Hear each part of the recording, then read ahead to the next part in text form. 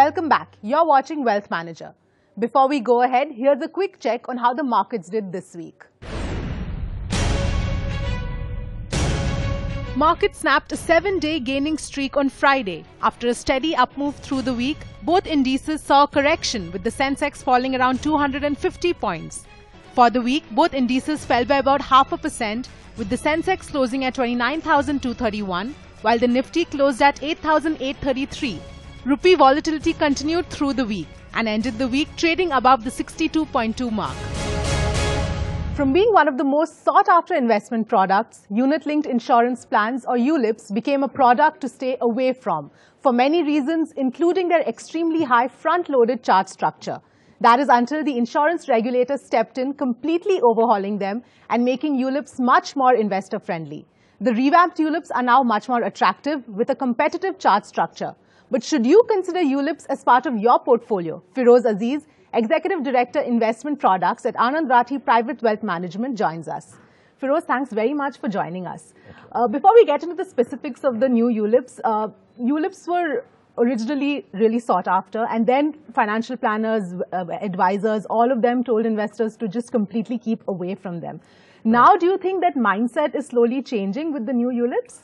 Yes, I think it's significantly more hmm. competitive from hmm. a cost standpoint. Like you rightly mentioned, yeah. they were very front loaded. That took away a large hmm. corpus of yours in just investing in itself. Hmm. So on day one, if you have a large corpus lost, that's the biggest dampener for your yeah. future incomes. Hmm. So I think that has changed dramatically after IRDA stepped in and okay. put caps on most of the kind of costs which hmm. were there. So the lucrativeness of a ULIP has gone up significantly. Feroze, the most important uh, change that has come about in the ULIPs is the charge structure that we were were talking about. Can you take us through the old chart structure versus the new chart structure? So there were some uh, ULIPs which you charge 70-80% of the first year premium hmm. as the cost to allocate. Now that's been capped hmm. to 3% per annum. Okay as against there was no cap at all and people used to exploit it so much so that it would go 70 80 percent mm -hmm. the fund management charge which used to be aggregating at about 2 two and a half three percent now has come down to an aggregate of 1.3 amongst top in insurance mm -hmm. and the mortality cost which is what actually determines the risk of the insurer is is also come down about 25 percent from what it used to be in absolute terms so i think all these three critical costs have been curtailed mm -hmm. and the good part is the industry has taken this in their stride and actually not even used the maximum slab which mm. they are allowed to. That's, okay. that's very, very heartening to see. And how would this chart structure compare to, uh, say, a mutual fund chart structure?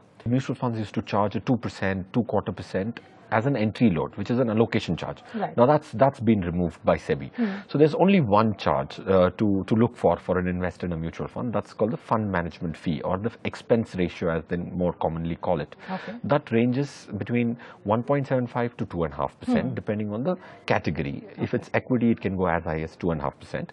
Uh, but uh, in an insurance fund management fee, like to like, mm. they're hmm. very comparable. But the other charges are absent in a mutual fund, which is the advantage, and that's what uh, creates a marginal incremental benefit to be in a mutual fund. Okay. The lock-in, which has been increased from three to five years, of course, uh, from a corpus perspective, it gives more uh, of a chance for the corpus to grow for, from the investor's uh, point of view.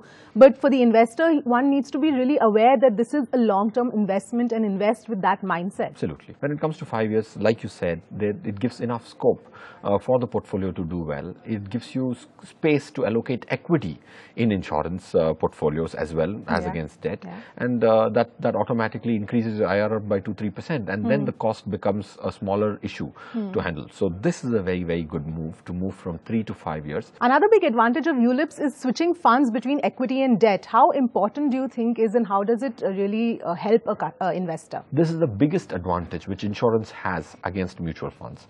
You can move your money between schemes without mm. actually having any tax implications implication Correct. or cost implication.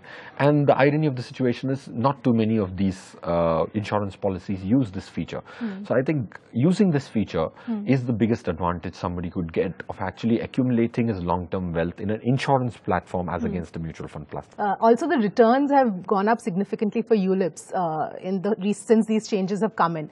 But how would you compare returns of uh, mutual funds versus ULIPs now?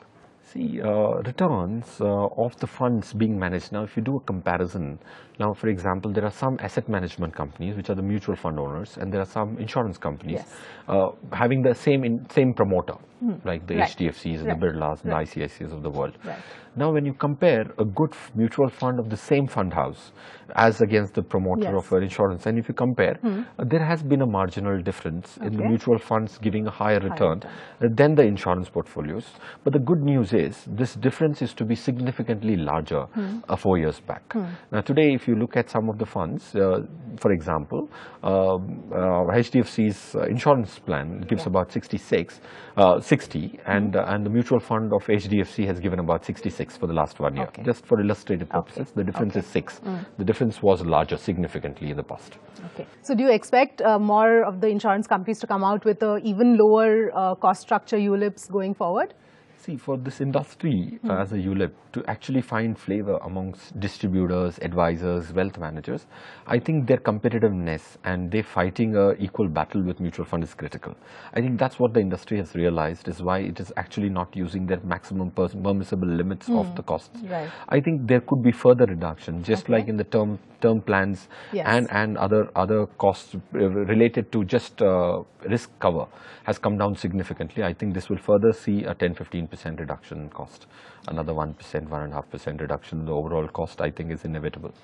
So as a wealth manager and an advisor, how would you recommend ULIPs now uh, to clients and investors? Where does it fit in into one's portfolio? See, uh, the good part, uh, any time where you want to try and create a long-term retirement corpus, for example. Okay. Okay, the most key important criteria is to make sure that the retirement corpus is not subject to tax changes cost between switches. Because if you're speaking about 20 25 years there could be 20 times you might want to reallocate money between equity and debt.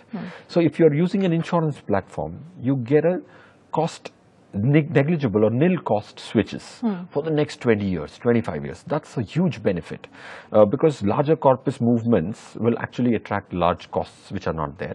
And the good part about insurance is you lock in your tax today tax structure.